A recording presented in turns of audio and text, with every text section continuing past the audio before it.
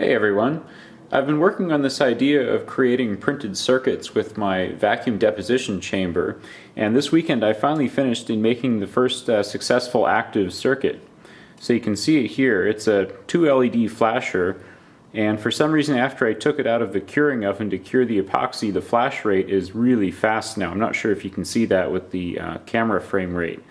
Uh, but as you can see, before I put it in the oven, it was flashing at sort of a more noticeable rate here. So let me tell you how I did it.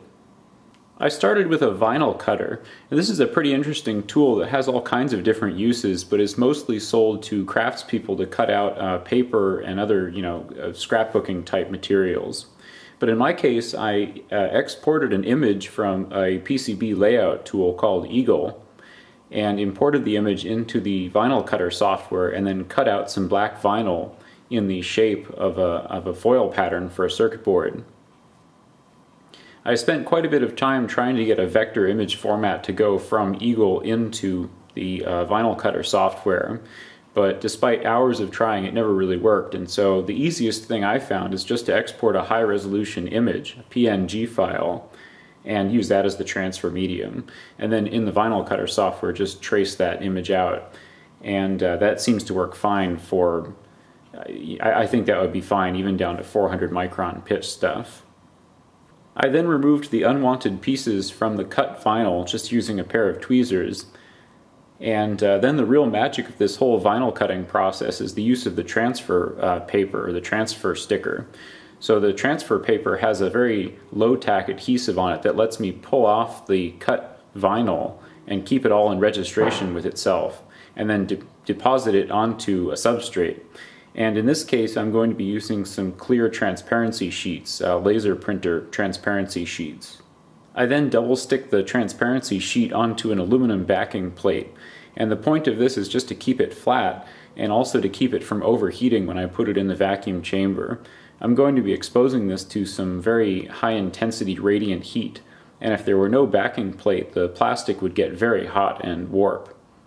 The vacuum chamber is set up so that the thing that I want to coat with metal is at the top of the chamber facing down, and the metal that I'm going to evaporate is at the bottom of the chamber facing up. And so when I turn the power on, uh, after pulling a vacuum in the chamber, I can evaporate the metal, in this case aluminum, and the evaporated aluminum travels upward and deposits onto the substrate, which is the clear plastic transparency in this case. I've also got my crystal thickness monitor system working, uh, thanks to the help of a, a very generous viewer. And um, I can monitor the thickness of aluminum uh, as it's being deposited. I've made quite a few attempts at doing this before, and you can see some of the different uh, combinations of stuff that I have here. So we've got aluminum on paper, aluminum on ABS plastic. This was aluminum on printer transparency, but this is one that I did without the the metal backing plate. And what happened is, is it just overheated the vinyl and basically just burned the vinyl right into the transparency. I couldn't even peel it off. So then I figured out uh, to use the backing plate and made this one. And this is the circuit from today in aluminum. I can also do aluminum on glass, which looks nice, but the adhesion of the aluminum onto the glass is not very good. Uh, this was a contaminated sample that was supposed to be aluminum but ended up being something else. And what I settled on was actually doing copper. So copper on glass works pretty well. This one I was even able to solder to if I was really careful. If I was very, very quick with the iron, I could actually solder to the copper that was deposited onto the glass here. I've also deposited copper onto transparency, and this is what I used today. So what ended up working for me was the copper on the clear transparency. The aluminum, I was having too much of a trouble with uh, getting a low enough resistance. So the thickness of aluminum on here is probably in the um, uh, 1 to 300 nanometer range. And that's very, very thin. In fact, it's so thin that the resistance of the layer is high enough to be a problem, even in a, even in a circuit like this. So after the metal has been deposited, I take the sample out of the chamber and then peel off the vinyl, leaving just the traces where I want them on the substrate. These printer transparencies are not able to withstand soldering temperatures.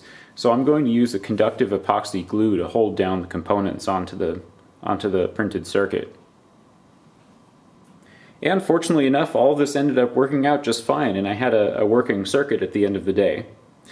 So you might be thinking, well, this isn't actually all that great because commercially we can do this on Kapton, and it's even able to be reflowed, and uh, it's thinner, and the copper layer is thicker, and it can be, you know, chemically etched and all that.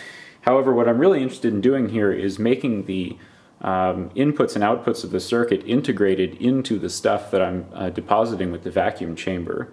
So instead of gluing down surface mount components, what I really want to do is make thin film transistors and OLEDs in the plastic so that the entire circuit is actually integrated or at least deposited onto the substrate. Uh, then we can actually have some really interesting stuff going on that cuts down the assembly time and also hopefully will make it flexible. So just for kicks, since we're a camera now, we're you know we're filming this now. I wanted to flex this and figure out just how flexible it actually is. So I'm going to flex it to breakage here if I can. And it looks like what happens is if I flex it, the glue breaks, and then it'll actually reconnect if I flex it the other way. So it's really not that flexible. It would be nice to make a, um, a clear, flexible sort of sticker circuit that was, oh, there we just lost a, a component there. So it's definitely coming apart. And my goal here is to have a much more flexible, durable circuit. Okay, well, let me know if you have any suggestions of uh, what I should build next or substrate ideas or anything like that. Okay, see you next time. Bye.